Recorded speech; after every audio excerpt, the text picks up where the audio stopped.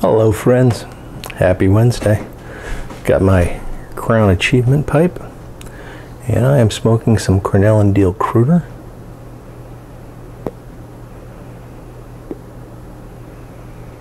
I like Crooner.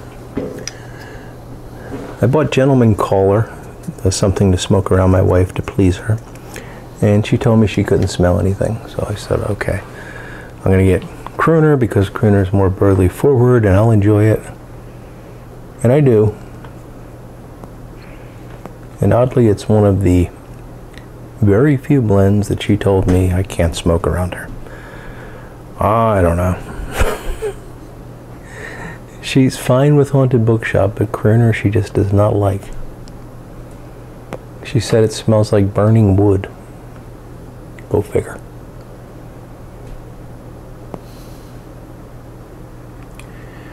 So it's been an interesting day. Past 24 hours have been uh, been tough, and I told you to buckle up. it's only going to get worse from here on out.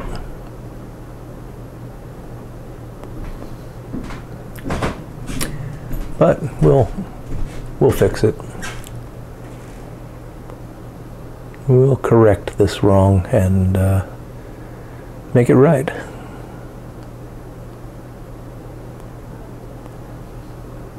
I don't know how. I don't think anybody knows how right now. But the important thing is that we stay focused on what's important. It's important that we do what's important. It's a bit redundant.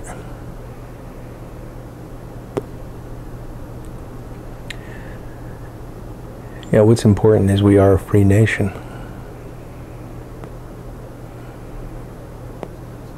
And we can't let anybody tell us otherwise. And as long as we keep that in mind, and I think that's something we can all agree on, as long as we keep that in mind, we're going to be fine.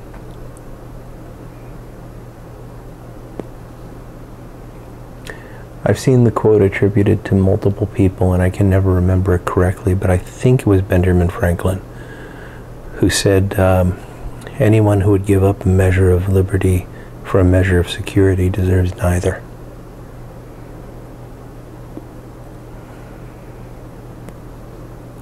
Benjamin Franklin was a smart man.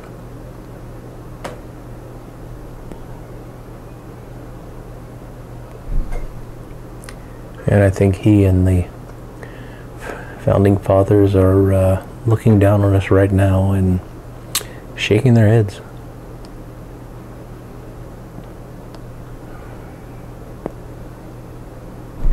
But we'll fix it. We're resilient. And we're good people for the most part. And that's something we got to keep in mind, especially now when it's so easy to find differences between people. Focus on the similarities. If your friend's a pipe smoker, nah, you're not going to argue anyway if you're pipe smokers, but you talk about pipe, you talk about tobacco. If your friend's a gearhead, you talk about your cars.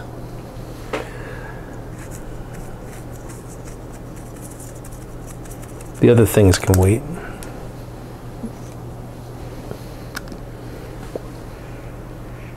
Let the world sort itself out and settle before you go tearing up your own personal life.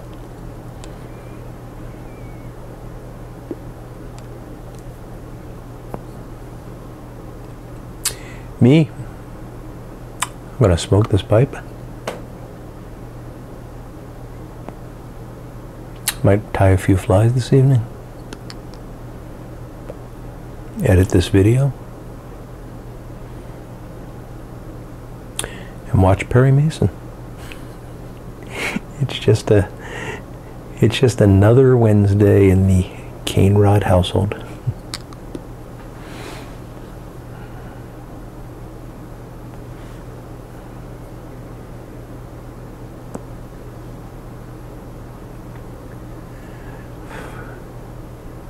Well, folks, I'll say this: just hang in there. If you're if you're unhappy right now, hang in there. It's going to get better. It's going to get a lot better. If you're happy right now, there's something wrong with you.